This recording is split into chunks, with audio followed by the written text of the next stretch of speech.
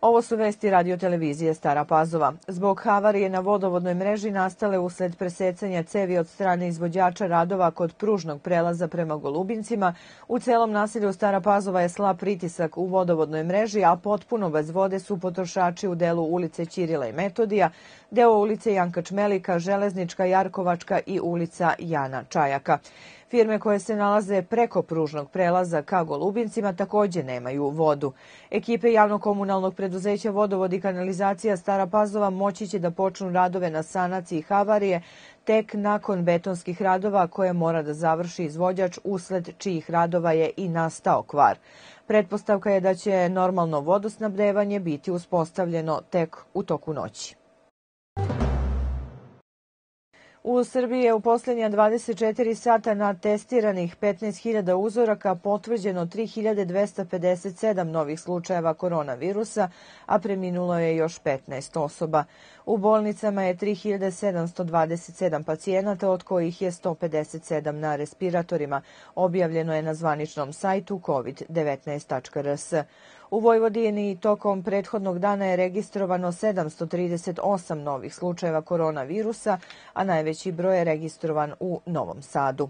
U Staropazovačkoj opštini beleži se blagi porast broja osoba pozitivnih na COVID-19, dok se i broj pregleda u COVID ambulanti u Staroj Pazovi, koja radi dvosmenski, poslednjih nekoliko dana takođe povećava i na dnevnom nivou iznosi oko stotinu. U poslednjih 24 časa registrovano je 20 novoinficiranih, dok je broj trenutno aktivnih slučajeva 177, saznaje radiotelevizija Stara Pazova. Građanima Staropazovačke opštine dostupna je i vakcina četvrtog proizvođača, tako da trenutno medicinsko osoblje raspolaže sa Pfizerovom i vakcinom AstraZeneca, dok se revakcinacija vrši kineskim cepivom i to po pozivu koji upućuje elektronska uprava. Na osnovu podataka iz lokalnog doma zdravlja dr. Jovan Jovanović Zmaj do sada je podeljeno više od 5000 vakcina. Lekari i medicinsko osoblje i dalje apeluju na sugrađane vakcinasane i one koji čekaju vakcinaciju da se strogo pridržavaju propisanih mera prevencije u cilju suzbijanja virusa korona i sticanja kolektivnog imuniteta. Sednica kriznog štaba za borbu protiv virusa korona zakazana je za sutra i na njoj će se razmatrati trenutna epidemiološka situacija u zemlji. Broj novozaraženih ne uliva optimizam da će biti popuštanja mera, već sve govori da će postojeće mere ostati na snazi, možda čak i biti pooštrene. Epidemiolog i član medicinskog dela kriznog štaba Branislav Tiodorović kaže za Tanjuk da popuštanja mera neće biti, a da su moguća dva scenarija. Jedan je da postojeće mere ostanu na snazi, a drugi je da dođe do pooštravanja u pojedinim gradovima koji prednjače po broju zaraženih poput Arilja, Vranja, Kraljeva pa čak i Beograda. Državni sekretar Ministarstva zdravlja Mirsa Đeralg očekuje da će krajem juna Srbija biti blizu kolektivnog imuniteta što se tiče virusa korona i da će do tada biti vakcinisano oko 2,5 miliona stanovnika.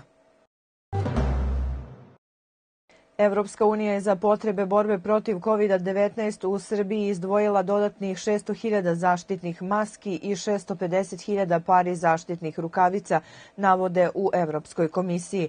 Ova zaštitna oprema u Srbiju dolazi iz Grčke, koja je jedno od sedišta evropskih zajedničkih rezervi medicinske opreme. Duplo manje venčanje i duplo više razvoda u 2020. godini u poređenju sa prethodnom. To pokazuju statistički podaci iz matičnih knjiga venčanih u Staropazovačkoj opštini. Na početku ove godine primetan je trend povećanog broja zakazivanja venčanja, tako da se matičari nadaju da će biti više sklopljenih nego razvedenih brakova i da se neće ponoviti 2020. u kojoj je bilo 83 razvoda, što je duplo više nego u 2019. kada ih je bilo samo 43.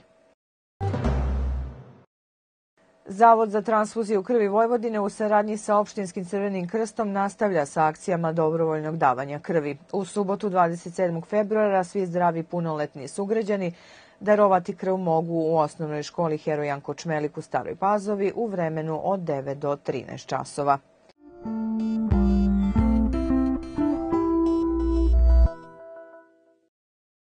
Sutra će u nižim predelima biti malo svežije uz duže zadržavanje magle i niske oblačnosti. U brdsko-planinskom području pretežno sunčano, vetar slab promenljivog smera. Najniža temperatura od 0 do 6, a maksimalna dnevna od 8 do 15 stepeni. Poštovani gledaoci, bile su to vesti. Ostanite i dalje u sadržaje RTV Stara Pazova.